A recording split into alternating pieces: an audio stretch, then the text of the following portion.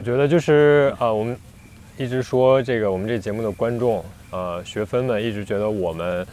呃无论是节目上、节目里面、外面一些展现的一些特质，呃，能够给他们带来一些力量。嗯，但其实呃，我觉得我们之间至少至少对于我来说是，我觉得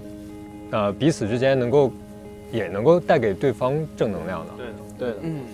就是我们可能聚的也不是特别多，但是每一次见面，呃，一方面是能够让我感受到轻松，就是不会有那种社交的恐惧和压力，嗯，压力然后另一方面也是，呃，每个人身上都有自己非常独特的一种气质啊，或者说是他的呃长处吧。然后每一次相遇，我们聚会在这儿，然后结束之后，其实呃都会觉得呃自己像是充了一次电，就是可能在很多地方都能够给我能量，让我能够去成为一个更好的人。我觉得我们大家也都是这样的，这么这么多季节目录下来，